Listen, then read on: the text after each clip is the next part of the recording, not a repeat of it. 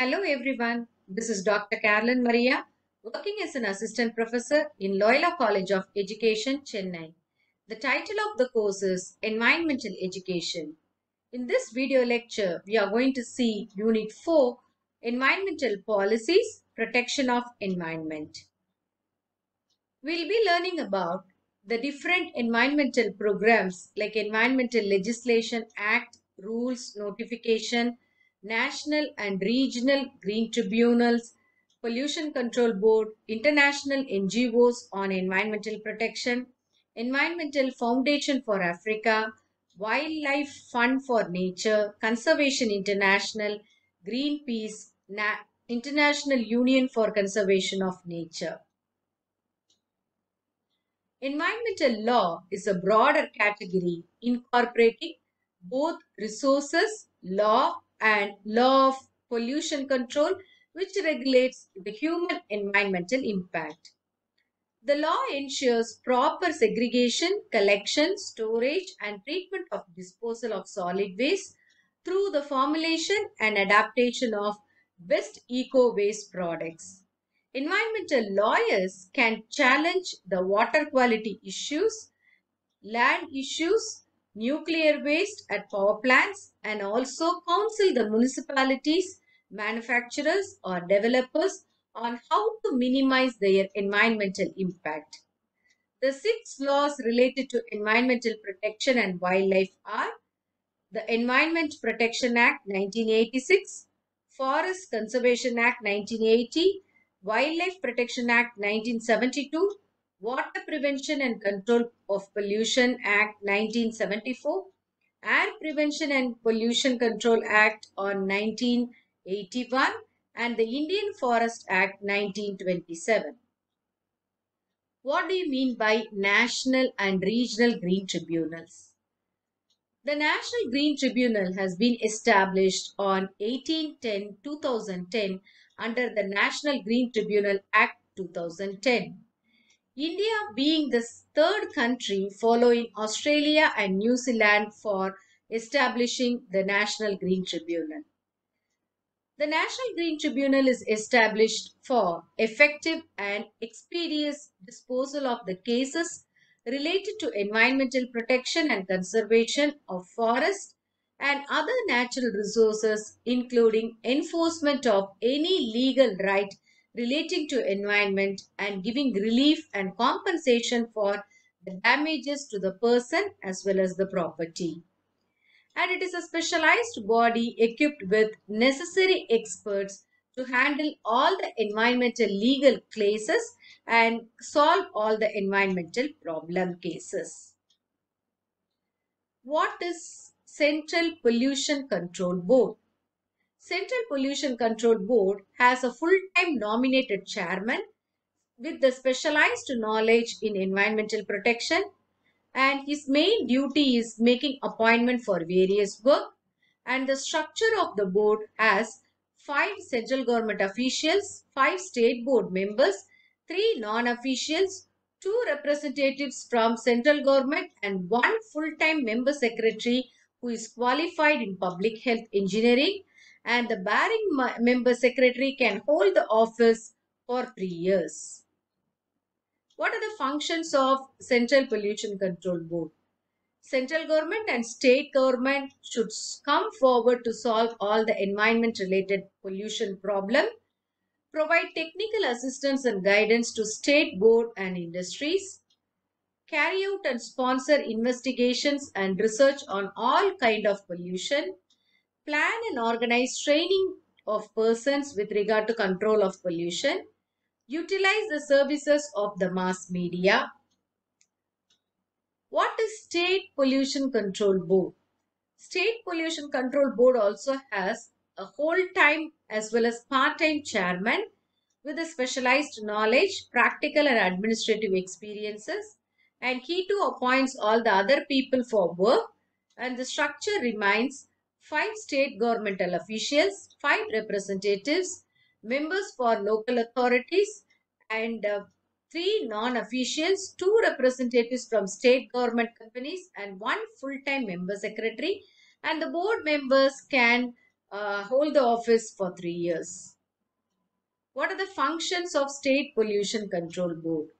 It advises the state government with regard to the matter all concerning with pollution, planning programs to prevent pollution, collect and disseminate the information, seek guidance and training, lay out as well as modify the effluent standard, then evolve economical trade effluents, evolve methods for utilization and disposal of treated sewage, and what are the powers of Central Pollution Control Board and State Pollution Control Board? Industrial houses specific concerned with any application form with regard to the pollution, the central government as well as state government pollution control board can take off any method of treatment and anytime they can go for the inspection. And they can order the firm to execute any work or install any new machinery with the time limit and they can establish the lab to check the quality of the air, water and soil. They can collect, compile and publish technical and statistical data.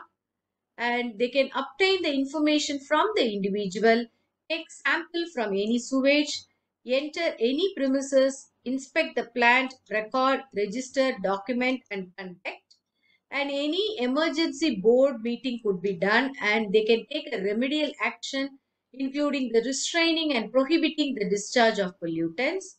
And it can they can make an application to the court after detecting the offense. And they can stop the regulate uh, regulation of water supply electrical supply or any other services to be identified in the premises. And even after doing all that if people are not obeying the court order they could be given a punishment like three months of imprisonment or 10,000 rupee fine, additional fine of 5,000 per day. The person causing pollution could be given one and a half year to six years of imprisonment and with the fee of 10,000 and additional fee of 5,000 per day. What are the international NGOs for environmental protection? The main reason for having all this international NGO are creating awareness among the public about the current environmental issues and solutions, involved in protection of human rights to have clean environment, protecting the natural resources and entrusting the equitable source of energy, analyzing and monitoring environmental quality, transferring the information through newsletter, brochure, article and audio visuals, organizing seminar, lecture, group discussion, promoting environmental awareness, helping the villagers and administrative officials in preparation and application and execution of all the environmental related issues and solving the problem. What is EFA? Environmental Foundation for Africa. It is a non-governmental organization founded in 1992 with the aim to protect and restore the environment in Africa. It conducts environmental education awareness campaign, restores the degraded lands and conserved forests, minimize the impact of civil war on environment and equip thousands of people with agroforestry, conducting training program at the national, regional, international levels to build environmentally conscious society to be motivated to maintain integrity in the nature in Africa. What is WWF? International Non-Governmental Organization founded on April 29, 1961, working in the field of biodiversity, conservation, research and restoration of environment and reduction of humanity's footprint on the environment. It is the world's largest independent conservation organization with over 5 million supporters worldwide, working more than 90 countries, supporting 1,300 conservation and environmental projects around the world. It is a charity with approximately 60% of its funding from voluntary donations by private individuals and 40 percentage of fund they receive from Netherlands and United Kingdom and the United States.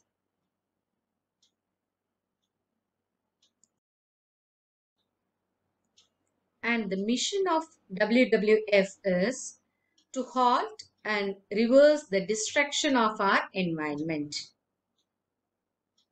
CI Conservation International. It is also a non-profit organization having its headquarters at Washington, D.C.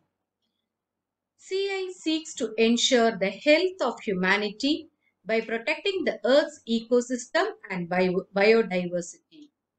CI's work focuses on six initiatives that affect human well-being like climate, food security, freshwater security, health, cultural services, and species contribution. Organ this organization is also known for its partnership with the non-local government organization and indigenous people. Greenpeace. This is also a non-governmental organization with offices over 40 countries.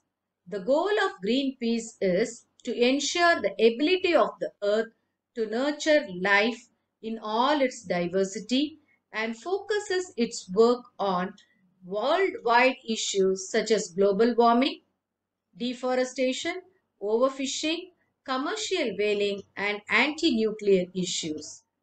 The global organization does not accept funding from governments, corporations, or political parties, relying more than 2.8 million individual supporters for foundation, foundation grants. Greenpeace is an independent global campaigning organization that acts to change the attitudes and behavior to protect and conserve the environment and to promote peace by catalyzing the alternative energy revolution, creating a global network for marine reservoirs, protecting the world remaining Asian forests, elimination of nuclear weapons, creating a toxic free future and campaigning for sustainable agriculture. The functions of Greenpeace are campaign to stop climate change, protect ancient forests, save ocean, stop whaling, say no to genetic engineering, stop nuclear threats, eliminate toxic chemicals, encourage sustainable trade. IUCN International Union for Conservation of Nature. IUCN was founded on October 1948 as the International Union for Protection of Nature and now it has been changed to IUCN.